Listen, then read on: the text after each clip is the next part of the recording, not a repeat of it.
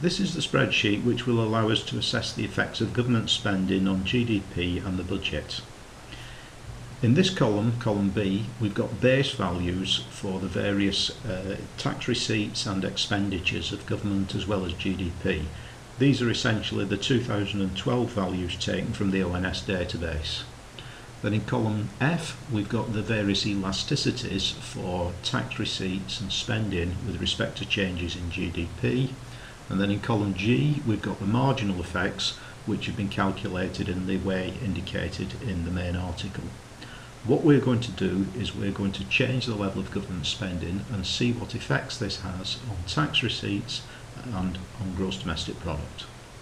So to do that, we enter a value into this cell here for the percentage change in government consumption. I'm going to enter this here as 5% or 0.05 hit return and it, the spreadsheet is set up so that it will calculate the effects on tax receipts and spending. We see here that the various tax receipts have generally gone up, whereas spending has gone down because of a reduction in social security transfers. I'm assuming the central value of the multiplier here is 1.06 and if we look at the effects of that we see there has been a 1.17% increase in GDP. The deficit has risen by 9 billion although total spending as we see here has gone up by 17 billion. So we see there's quite a big effect on the deficit coming through higher taxes and lower government spending.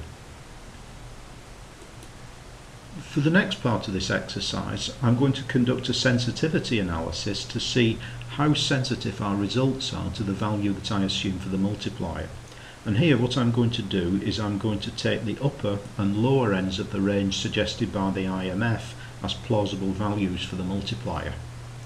At the lower end we take a value of the multiplier of 0.5 and if we enter that we see that we get a much smaller increase in GDP by only 0.55% in this case and as a result tax receipts rise by less, social security transfers fall by less and as a result the deficit increases by 13 billion um, relative to an increase in government consumption of 17 billion. Now let's consider the upper end of the range of the multiplier. In this case I'm going to enter a value here of 1.8.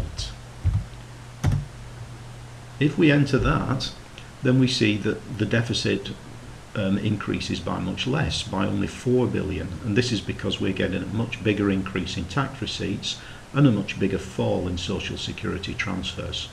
So we see that the results are in fact very very sensitive to the value that we assume for the multiplier.